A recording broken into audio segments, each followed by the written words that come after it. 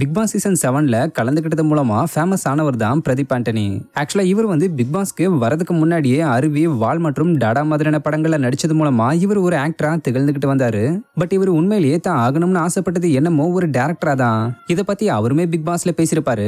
சொல்லப்போனா அவரோட கதையை அவரோட காசுலயே வச்சு எடுக்கிறதுக்காக தான் அவர் பிக் பாஸ்லயே கலந்துருந்தாரு.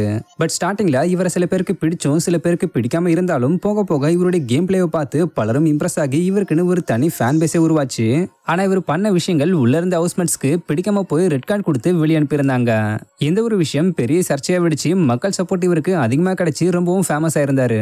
சொல்லப்போனால் இந்த ரெட் கார்டு இஷ்யூ ஒரு மாதம் கிட்ட வரைக்குமே பேசப்பட்டுச்சு.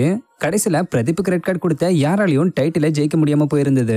இதை தொடர்ந்து பிரதீப்புமே இதை இதோட முடிச்சுக்கலாம். எனக்கு ஒரு படத்தில் நடிக்க வாய்ப்பு கிடைச்சிருக்கு. அட்வான்ஸும் வாங்கிட்டேன். ஸோ நீங்களும் உங்கள் பொழப்ப பாருங்கன்னு சொல்லி முடிச்சிருந்தாரு. இந்த நிலையில ரீசெண்ட் ஆக்டர் பிரதீப்புக்கு எங்கேஜ்மெண்ட் நடந்து முடிஞ்சிருக்கு. இதை பற்றி அவரே தன்னோட எக்ஸ்பேஜில் பேசியிருக்காரு. அதாவது எங்கேஜ்மெண்ட் அப்ப எடுக்கப்பட்ட ஃபோட்டோஸை ஷேர் பண்ணி நேத்து தான் எனக்கு எங்கேஜ்மெண்ட் ஆச்சு.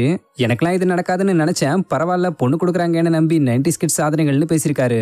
ஆக்சுவலா பிரதீப் ஆண்டனி வந்து தன்னுடைய நீண்ட நாள் காதலியை தான் நிச்சயம் பண்ணியிருக்காரு. இவங்கள ஆக்டர் பிரதீப்போட நிறைய போட்டோஸ்ல நீங்க பார்த்துருப்பீங்க.